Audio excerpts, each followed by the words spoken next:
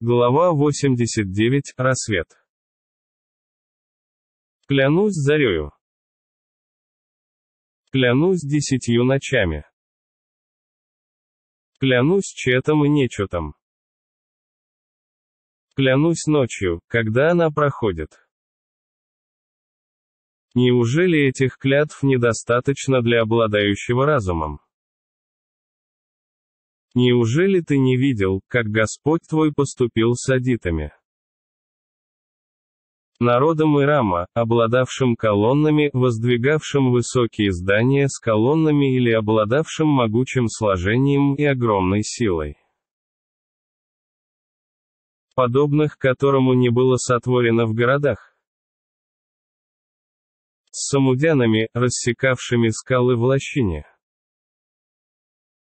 с фараоном, владевшим кольями, обладавшим множеством воинов, которые поддерживали его власть, подобно тому, как колышки поддерживают шатер, или привязывавшим людей к кольям во время казни. Они приступали границы дозволенного на земле и распространяли в них много нечестия. Тогда твой Господь пролил на них бич мучений. Воистину, твой Господь, в засаде предоставляет отсрочку грешникам, чтобы затем неожиданно наказать их за ослушание. Когда Господь испытывает человека, оказывая ему милость и одаряя его благами, тот говорит, Господь мой почтел меня. Когда же он испытывает его, ограничивая его в пропитании, тот говорит, Господь мой унизил меня. Но нет, вы же сами не почитаете сироту.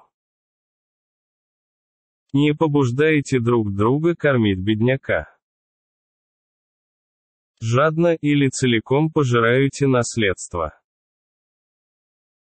И страстно любите богатство. Но нет, когда земля разобьется и превратится в песок. И твой Господь придет с ангелами, выстроившимися рядами. В тот день приведут гиенну, и тогда человек поминет назидание. Но к чему такое поминание? Он скажет, эх, если бы я заранее позаботился о своей жизни. В тот день никто не причинит таких мучений, как он. И никто не наложит таких оков, как он. Обретшая покой душа.